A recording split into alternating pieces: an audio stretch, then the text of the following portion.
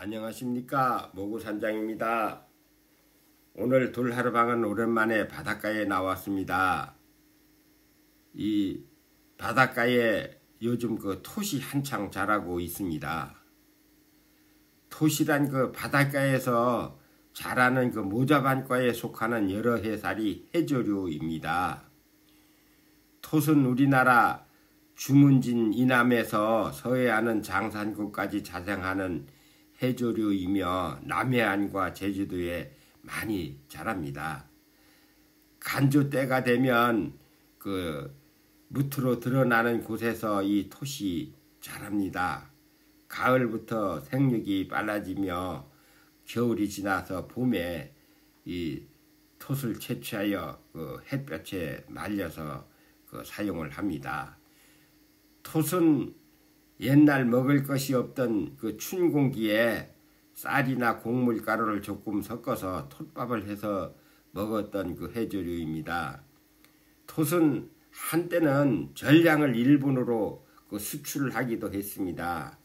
일본에서는 이 톳이 최고 건강식품으로 학교에서는 일주일에 2회 이상 급식에 의무적으로 사용한다 합니다. 요즘 우리나라에서도 건강식품으로 널리 알려지면서 인기가 상승하는 그 식재료입니다. 톳은 그 톳밥을 해 먹을 수 있고 샐러드나 무침, 비빔밥에 사용하고 그 가루를 내서 톳 국수를 만들며 그 말린 톳은 불려서 냉국 등 다양하게 그 사용을 합니다. 이 톳에는 식유 섬유가 풍부하고 각종 그 비타민류와 칼슘, 요오드, 철분, 엽산, 아연, 칼륨, 알긴산 등이 들어 있습니다. 톳은 그 열량이 낮고 식이 섬유가 많아서 다이어트에 아주 좋습니다. 변비에도 좋고 소화를 도우며 면역력을 높여주는 식재료입니다. 특히 칼슘은 우유의 15배, 시금치의 4배나 더 들어 있습니다. 그래서 뼈 건강에 아주 좋습니다. 치아 건강과 골다공증에도 아주 좋습니다.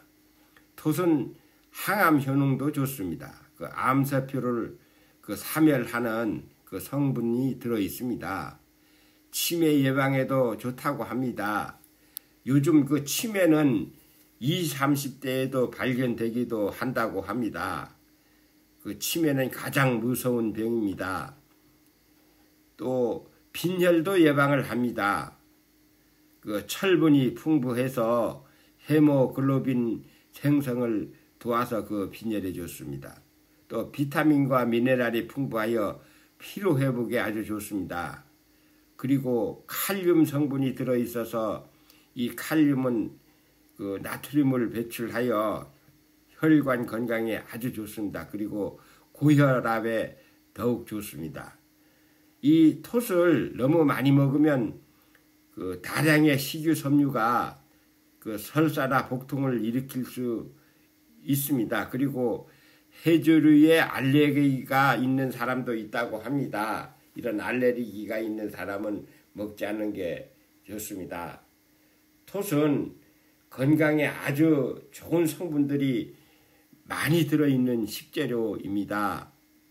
그 오늘 돌하루방이 준비한 영상은 여기까지입니다. 내일 또 다른 영상에서 뵙겠습니다. 감사합니다.